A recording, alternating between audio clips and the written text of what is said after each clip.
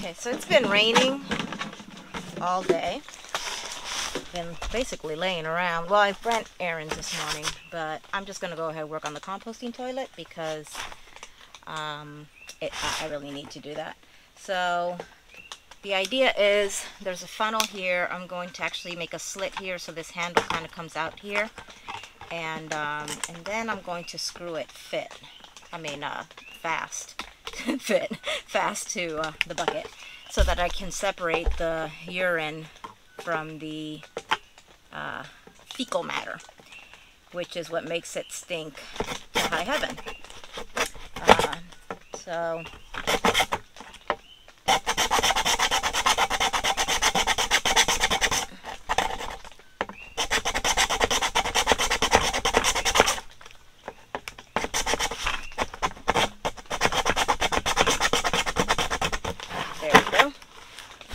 wasn't that bad. Um, I hope you can see here. I'm manning everything. Here we go. I think I need to make it wider.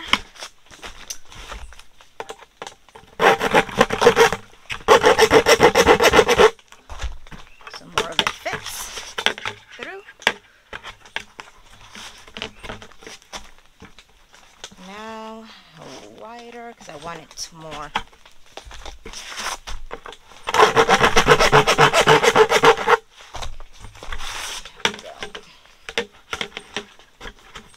I had gotten another funnel that was a lot bigger in general. However, that funnel took up most of the surface area. Well, just of the area. So if I went number two, or when I went number two, it would not have worked well at all. Okay, so my idea here is I'm probably going to get a tiny screw and screw that fast there. And then that'll be it. So the concept is that the urine will go in here. I will be taking a piece of this pipe and I am going to put it right here and then the other end will go into a jug for now eventually I want to be able to probably make a French drain so it goes down. Um, but urine is, um, is uh, what do you call that? The word that's coming to my mind is neutral and I know that's not what it is. but urine is, and I'm sure many of you are screaming the word at the screen, but right now I can't think of the word. Um, so I could pour it anywhere and it would not harm the environment. Um, and then what I'll be using inside the bucket is these 100% compostable. Um, it says tall kitchen bags, but um, the idea is whether I decide to use it for human manure or if I just use it, you know, bury it. It's made from plants, so um, the Europeans approve it, and you know they're uh, way farther ahead than we are when it comes to um, things. And then this is my toilet seat, which clicks right into this little Home Depot bucket like that. And it has a lid, which came off. I have to put it back on. And that is the idea. So I will now get the screw to go ahead and screw that on there. Okay, so I already went ahead and screwed that in there. Um, if, hopefully you can see this. Yeah. All right. So this is just a regular, like, gallon jug. It is way too big because if you think about it, when I put the bag in here to go number two, there'll be a, there won't be a whole lot of space. Um, so for now, I'm just going to use this. Tomorrow when I run out again, um, I'll probably run out and uh, run some more errands um, I will probably I will find something that is um, smaller so that there's more space in the bag. Um, but anyway, for now that'll do. Um, when I set it up, I'll show you.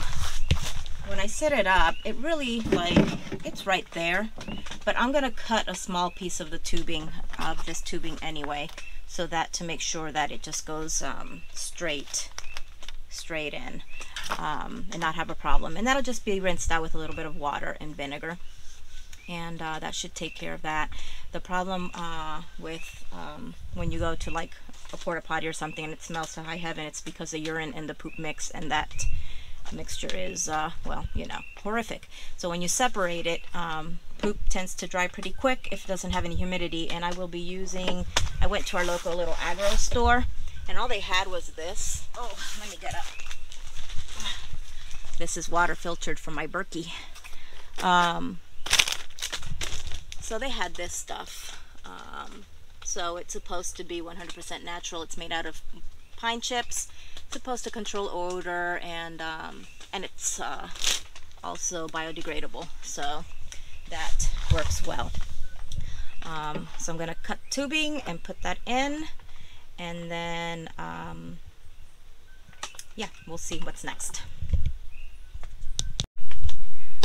Okay so I cut this piece here it's about I don't know one two two and a half inches three inches and so when I put the gallon jug in this may be a problem. Let's see. When I put the gallon jug in, take one. okay, here's take two. I, just I can't do things with one hand, so it'll just go in like this, and, um, and then I'll show you. And so it will go directly in, no problem. Um, it may actually not end up being a problem that I would have to uh, um, get a smaller jug, but we shall see. Uh, now I have to put the bag in, and uh, I'll need both hands for that. So let me see if I can get that at a good angle. Um, wow, the texture of this bag is really smooth. Where is the cutoff of the bag? It's a 13 gallon bag, so it would fit in a much bigger trash can, like a trash can.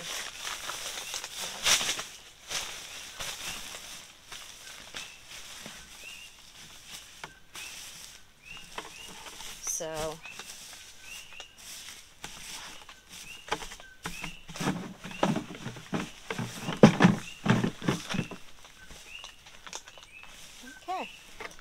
All right, so I'll show you what I did here. Um, obviously, it can't go all the way around because of the homemade urine separator here. Um, but when I put the lid on,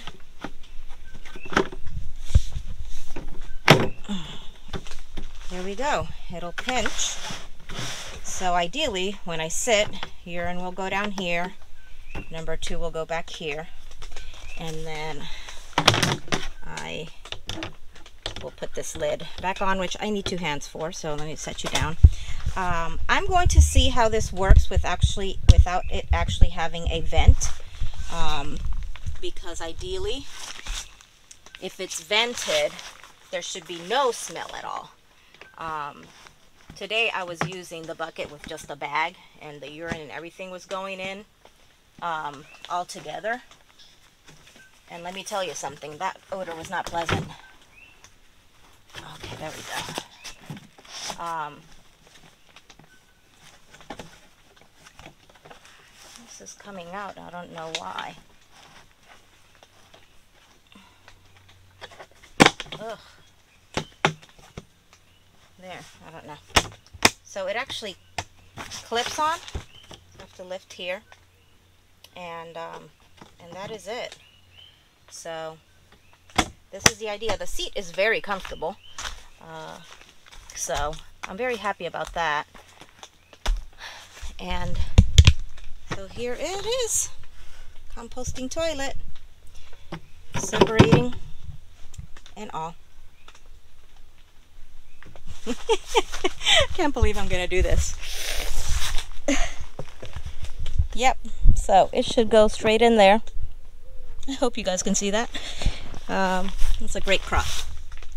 crotch shot. Yes, I'm insane. but it is what it is. Um, and that is it. So I have my own little potty. You know, I after I finished the previous clip, I forgot to tell you. So what will happen is I will use some of this, pour it on the bottom first, and then every time I go, the concept is that I put some more on top, and that'll help absorb any um, uh, humidity that will be in there and to keep odors low and um, or not any, hopefully. And um, it'll keep the poop covered too because if anybody comes to visit me which you know if you know Puerto Ricans we do a lot in groups and uh, family will probably be coming and friends and whatnot and this is the only bathroom available. So uh, I just wanted to make sure that you knew how I was going to keep things there covered and hopefully very low to no odor